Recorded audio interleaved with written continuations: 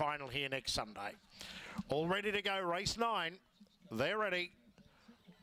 Racing, Barty Hayes away quickly out wide, leads over Jackie's big boy McClay. Going up hard now was Wolf Steel to join the leaders behind them. Stanton Warrior, Bright Light Boy. Pushing up there, Wolf Steel. On the inside was Barty Hayes. Out wide of Jackie's big boy and then McClay. Wolf Steel out in the centre. Trying hard, Barty Hayes, but Wolf Steel clear. Wolf Steel beat Barty Hayes. Third Stanton Warrior, Jackie's big boy. They're ready.